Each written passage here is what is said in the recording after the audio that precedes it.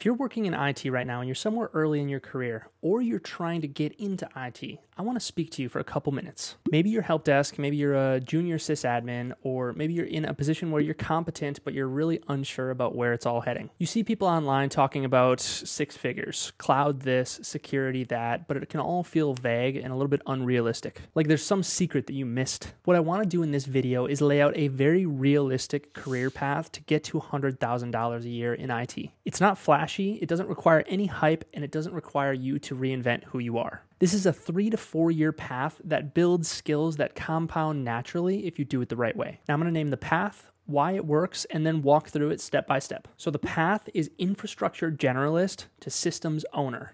That's the entire thing. This is the path of someone who understands how systems connect, how failures propagate, and how to take responsibility for environments that actually matter to a business. This path is quiet, it's practical, and it pays very well. So, the first stage of this path is where many people probably already are help desk, or junior IT. At this stage, your job is not to be exceptional, it is to build context. You're getting exposed to real environments for the first time. You might be used to lab environments or exam questions, but now you're getting into the nitty gritty of real, messy environments that are based off of history, and there are a lot of unknowns. A lot of imperfect decisions have been made that led to this environment. And this is where you start learning how organizations actually use technology. You're seeing how users authenticate, how access is granted and removed, how devices are managed, how cloud services connect back to identity, and you're seeing how all these random network issues show up as random user issues. Even if your day to day feels super repetitive in this stage, what's important is that you pay attention to the underlying systems underneath the hood. You're starting to realize that oftentimes a single issue touches multiple systems at once. A login issue might involve identity,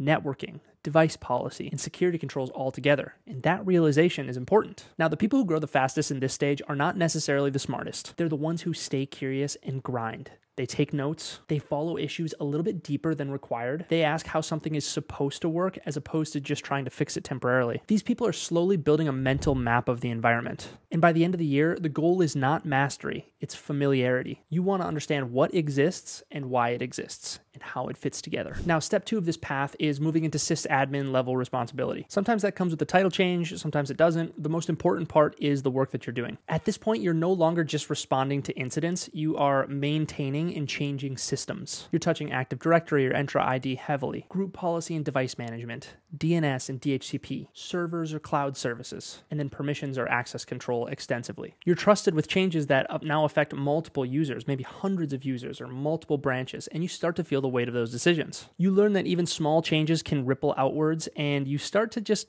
pause a little bit before you click apply. You also learn to think who might be affected, and this is where troubleshooting gets a lot more intentional. You're no longer guessing, rather, you are forming hypotheses and then narrowing scope. So, somewhere in this year two, your thinking starts to change. You stop seeing problems as isolated events and you start seeing them as symptoms of underlying system behavior. You start to understand why certain misconfigurations keep resurfacing. You might understand why identity issues often show up as application problems, why networking problems cause strange and inconsistent failures, and very importantly, why policy changes need testing and rollback plans. People around you are going to start to notice that if you work on an issue, they can trust you that the issue is going to be permanently fixed you start to build trust. Now, year two to three is the least talked about step, but the most important one, and that is an infrastructure generalist step. An infrastructure generalist or a domain generalist is someone who works across multiple domains, multiple different parts of technology, and doesn't silo themselves into one area. You don't need to be the deepest expert in any single area. What's important is that you can reason across boundaries and think at a systems level. At this point, you're comfortable moving along identity and access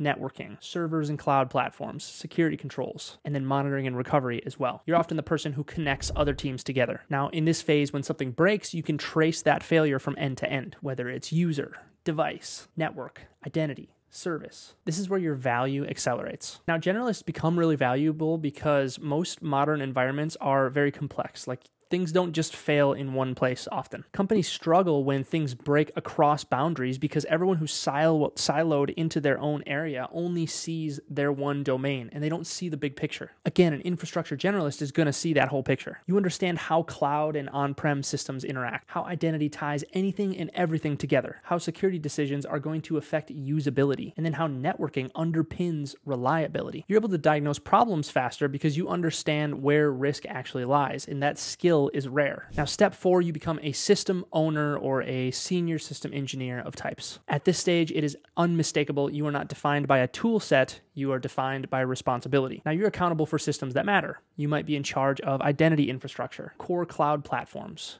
endpoint management, backups and disaster recovery, monitoring, and alerting. All of these business critical services. Now, people come to you before making changes. They trust in your judgment. They ask you for your opinion on things. You're really thinking about reliability, uptime, risk, change management, and then long term maintainability. Now, at this point, you're not just fixing problems, you're also preventing future problems. So understand the $100,000 doesn't come when you learn one more tool. $100,000 comes when you bring so much to value to a company because you're reducing uncertainty. You're trusted to make decisions calmly, you can explain trade offs clearly. You own the outcomes of your decisions. And of course, you protect critical systems. That level of trust is expensive but it's worth it. And again, this is where the compensation usually crosses into six figures, whether that's senior systems engineer, platform engineer, site reliability engineer, infrastructure engineer, or something similar. Now, one of the things that I like the most about this path is that it does not rely on trends. Tools are going to change, platforms evolve, and job titles shift. But system thinking lasts. And once you understand how networking, compute, identity, and all of these things we've discussed fit together, you can adapt almost anywhere. And that is career resilience. If you're early in your career and this feels far away, that is okay. Don't feel the need to rush it. You don't need to compare timelines and you do not need to know everything now. You just focus on the controllables, the things that you can control in the moment. Understanding systems,